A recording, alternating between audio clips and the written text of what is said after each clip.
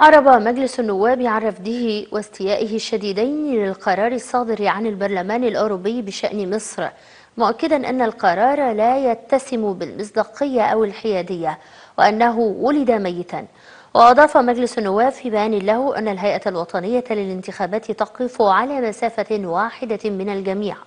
وأنها وبوصفها الجهة المسؤولة عن إدارة العملية الانتخابية سبق وأن تأكد لها عدم وقوع أي مخالفات أو أعمال محاباة أو مضايقات من قبل الجهات المكلفة بتنفيذ قرارات الهيئة المتعلقة بالانتخابات الرئاسية.